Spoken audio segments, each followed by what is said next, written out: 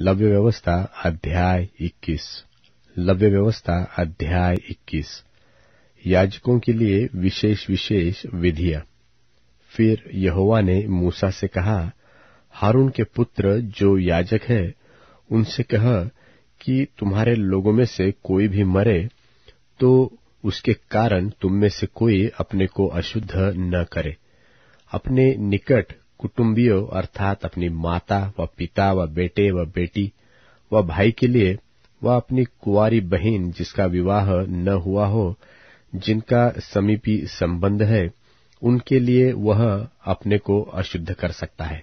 पर याजक होने के नाते से वह अपने लोगों में प्रधान है, इसलिए वह अपने को ऐसा अशुद्ध न करे कि अपवित्र हो जाए।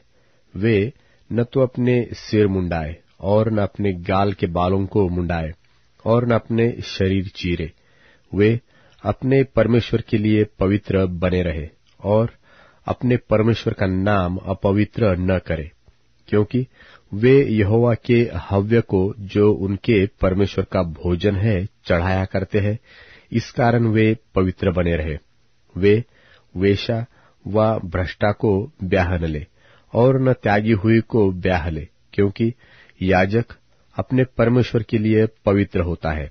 इसलिए तू याजक को पवित्र जानना, क्योंकि वह तुम्हारे परमेश्वर का भोजन चढ़ाया करता है। इसलिए वह तेरी दृष्टि में पवित्र ठहरे, क्योंकि मैं यहोवा, जो तुमको पवित्र करता हूँ, पवित्र हूँ।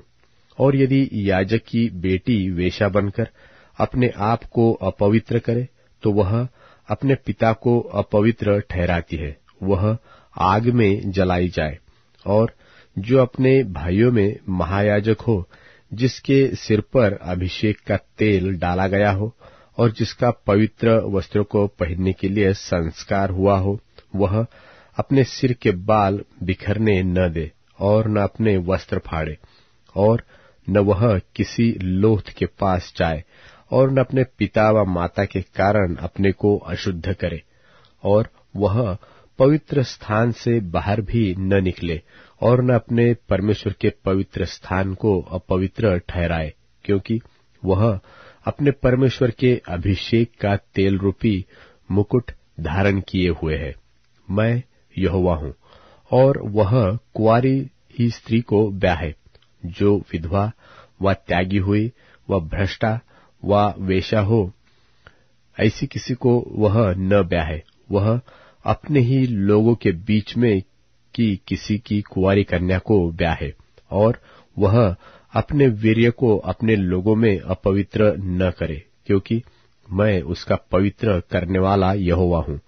फिर यहोवा ने मूसा से कहा, हारून से कहा कि तेरे वंश की पीढ़ी पीढ़ी में जिस किसी के कोई भी दोष हो, वह अपने परमेश्वर का भोजन चढ़ाने के लिए समीप न आए।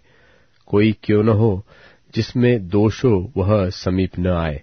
चाहे वह अंधा हो, चाहे लंगड़ा, चाहे नक चपटा हो, चाहे उसके कुछ अधिक अंग हो, व उसका पाव व हाथ टूटा हो, व वह कुबड़ा, व बवना हो, व उसकी आँख में दोष हो, व उस मनुष्य के चाई व खुजली हो, वह उसके अंड चिपके हो। व हारून, याजक के वंश में से जिस किसी में कोई भी दोष हो, वह यहोवा के हव्य चढ़ाने के लिए समीप न आए। वह जो दोषयुक्त है, कभी भी अपने परमेश्वर का भोजन चढ़ाने के लिए समीप न आए। वह अपने परमेश्वर के पवित्र और परम पवित्र दोनों प्रकार के भोजन को खाए। परंतु उसके दोष के कारण वह न तो बीच वाले पर्दे के भीतर आए और न वेदी के समीप, जिससे ऐसा न हो कि वह मेरे पवित्र स्थानों को अपवित्र करे, क्योंकि मैं उनका पवित्र करने वाला परमेश्वर यहोवा हूँ। इसलिए मूसा ने हारून और उनके पुत्रों को तथा कुल इसराइलियों को यह बातें कह सुनाई।